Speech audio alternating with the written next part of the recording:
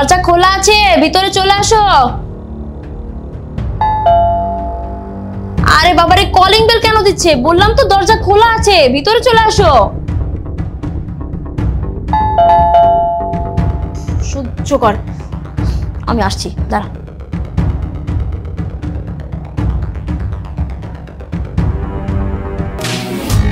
অসভ্য মেয়ে। তোকে কখন থেকে বলছি যে দরজা খোলা আছে, দরজা খোলা আছে? তারপরও কেন অনবরত কলিং বেল বাজিয়ে যাচ্ছিলি হ্যাঁ?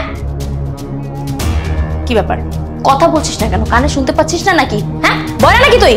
এতবার করে বলতেছিস যে আমি দরজা খোলা আছে কলিং বেল দিস না দিস না দিস না তারপরে কেন কলিং বেল দিয়ে যাচ্ছিলি হ্যাঁ? এটা ভদ্র ফ্যামিলি বাড়ি, তোদের মতো ওকিন্নি ফুকিন্নিদের বাড়ি না। বুঝতে পারিস না নাকি? তোরা বা কি করে বুঝতে পারবি? তোরা তো অশিক্ষিত খ্যাত এই জন্য তো ডেলিভারি কাজ করিস। এই জন্য তোদের মস্তিষ্কে কমন সেন্স বলতে কিছু নেই। সত্য সব। কোনো কথাই বলতেছে না। দে পার্সেল দে। কয় টাকা হয়েছে এক হাজার। তুই এভাবে কেন কথা বলছিস হ্যাঁ? তুই কি বোবা? মুখ দিয়ে কথা বেরোয় না? নাকি উপোস রেখেছিস? কোনটা? দেখ, আমার সাথে ফাইজলামি করবি না। থাপড়ায় কিন্তু কানাপট্টি ধরাই ফেলব। কথা বল। কথা বলছিস না কেন? মেজাজটা এমন গরম হচ্ছে এখন তুই আমার সাথে ভাব দেখাচ্ছিস, হুম? তোকে যে আমি এতগুলো কথা বলছি, তোর কানে ঢুকতেছে না কোনো কথা?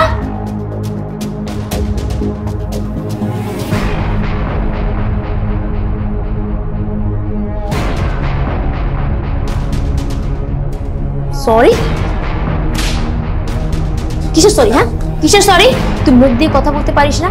দেখ, তুই যতক্ষণ মুখ দিয়ে কথা না বলবি, ততক্ষণ তোকে আমি এখান থেকে এক পাও যেতে দেবো না। তোকে কিন্তু আমি এখন পুলিশে ধরিয়ে দিব। ফাইজলামি করতেছিস আমার সাথে?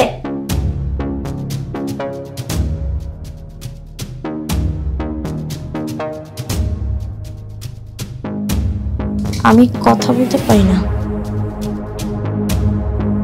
তার মানে তুই বোবা, কথা বলতে পারিস না।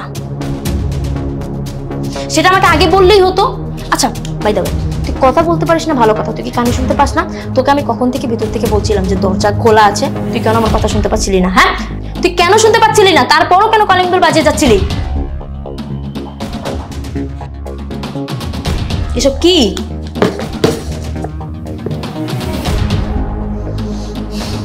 কানেও শুনতে পাস না, তুই কথাও বলতে পারিস না তাহলে ডেলিভারি করছিস কেন হ্যাঁ? তুই এই কাজ কেন করছিস? এই কাজ করতে হলে কতটা আন্তরিক হতে হয়, কতটা ধৈর্যশীল হতে হয় আর কতটা স্মার্ট হতে হয়, সেটা তুই জানিস না? এরকম একটা খ্যাত মেয়ে হয়ে, এরকম একটা প্রতিবন্ধী মেয়ে হয়ে তুই কি করে এগুলো করতেছিস হ্যাঁ? সর এখান থেকে, যা। আরে, আপনারা কি করছেন? ওকে ধাক্কা মারছেন কেন আপনি? আরে ভাই আর বলবেন না। এই মেয়েটা দেখুন কথা বলতে পারে না, কানে শুনে না, কোনো কিছু বোঝে না। ও আসছে ডেলিভারি মানে কাজ করতে। কেন?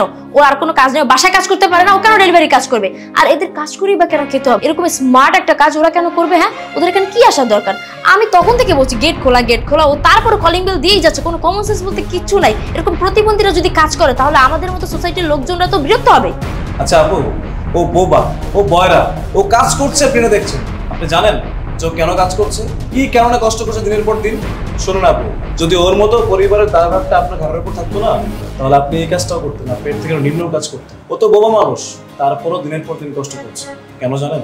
ওর বাবা নেই, ওর ছোট একটা ভাই আছে, ও নিজে পড়াশোনা করে, ওর মা আছে সব কিছু না ওর দেখাশোনা করতে যে কারণে বোবা হওয়া সত্ত্বেও না, ও কাজ বন্ধ করছে, কাজ করে যাচ্ছে। আপনি যে কাজটা আজকে ওর সাথে করেছেন, যদি আপনার সাথে আজকে ওই কাজটা করতো, তখন আপনি বুঝতে পারতেন যে আপনি ওর সাথে এই কাজটা করার কারণে কতটা কষ্ট পেয়েছে এই মানুষটা কথা বলতে পারে না বাক প্রতিবন্ধী তারপরে দেখুন, ও কিন্তু বাসায় বসে নেই। ও কিন্তু ঠিকই নিজে কাজ করে যাচ্ছে। ফ্যামিলির কথা ভেবে আর আমরা আমরা সুস্থ হওয়া সত্ত্বেও একদিন কাজ করে আরেকদিন আমাদের রেস্ট করতে হয়। আমরা শরীর নিয়ে চলতে পারি না, কিন্তু এই মেয়েটার মধ্যে না কোনো ক্লান্তিও আসে কারণ সে জানে। সে যদি একদিন বাসায় বসে থাকে, তাহলে তার ফ্যামিলির প্রত্যেকটা মানুষ না খেয়ে থাকে। প্রত্যেকটা মানুষ কষ্ট থাকে। ছোট ভাইয়ের পড়াশোনা বন্ধ হয়ে যাবে, ওর পড়াশোনা বন্ধ হয়ে যাবে। আর আপনি সেই মানুষটার সঙ্গে না জেনে, না বুঝে জানা তাই বিহেভ করেছেন এটা ঠিক না আপনি। একটা ভদ্র ফ্যামিলির মানুষ। ভদ্র ফ্যামিলির মানুষ হওয়া সত্ত্বেও আপনি এই কাজটা করা একদম ঠিক না। আমরা কেমন জানেন, আমরা হচ্ছে সুস্থ স্বাভাবিক একটা মানসিক রোগ। আমরা কোনো মানুষকে না চিনে, না বুঝে, না জেনে যে কোনো মানুষকে টর্চার করে বসি। আর এটাই হচ্ছে আমাদের ভুল। আজকে আপনি যে কাজটা করেছেন, আপনার মতো মানুষের কাছ থেকে এটা আশা করা যায়। আপনাকে দেখেই মনে হচ্ছে আপনি একটা এডুকেটেড পার্সন আর একটা এডুকেটেড পার্সন হওয়া সত্ত্বেও একটা অশিক্ষিত মানুষের মতো বিহেভ করা আপনার কোনো দিক থেকে ঠিক হয়। আপনার মতো মানুষের কাছ থেকে এগুলো আশা করা যায় না। আর আমার কাছে মনে হচ্ছে আপনি হয়তো বুঝতে পেরেছেন যে আপনি যে কাজটা করেছেন, আপনি ভুল করেছেন। বুঝতে পেরেছি ভাই, আপনার আর কিছু বলতে হবে না। আসলে ভুলটা আমারই ছিল। আমি মানবতা না দেখিয়ে বরং ওর সাথে আরও রিয়েক্ট করেছি। সত্যিই তো, ও কানে শুনতে পায় না, মুখে কথা বলতে পারে না। তারপরেও নিজের মধ্যে কতটা আত্মবিশ্বাস নিয়ে এই কাজটা করছে। আসলে আমরা শিক্ষিত সমাজের মানুষ যদি ওদের মতো এই ধরনের মানুষদেরকে সাহায্য না করি না বুঝতে পারি সিম্পেথি না দেখাই তাহলে ওদের কি হবে? আমি সত্যি অনেক দুঃখিত ওর সাথে খারাপ ব্যবহার করার জন্য। আপনি প্লিজ আমাকে ক্ষমা করবেন। আই এম সো সরি না না আপু আপনি আমাকে সরি বলার কোনো দরকার নেই। আপনি ভুলটা করেছেন ওর সাথে টর্চার করেছেন ওকে। আপনার যদি সম্ভব হয় আপনি ওকে সরি বলুন তাতে ও খুশি হবে। হুম ঠিকই বলেছেন।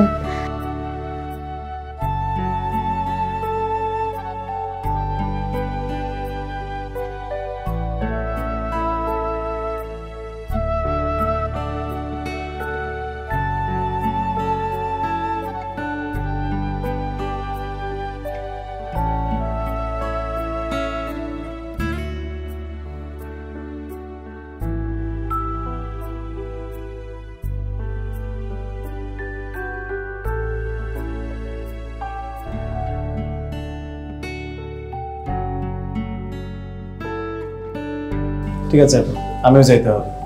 অবশ্য আমি প্রকৃতরা থাকি, যদি কখনো কিছু প্রয়োজন হয় অবশ্যই জানাবেন। আর আমি দিতে যাচ্ছিলাম তো, তখন দেখলাম যে চিল্লাচিল্লি করছেন, তাই দাঁড়িয়েছে। ঠিক আছে ভাইয়া, আপনাকেও ধন্যবাদ। আর হ্যাঁ এক সময় আপনার বাসার লোকদেরকে নিয়ে চা খেয়ে যাবেন।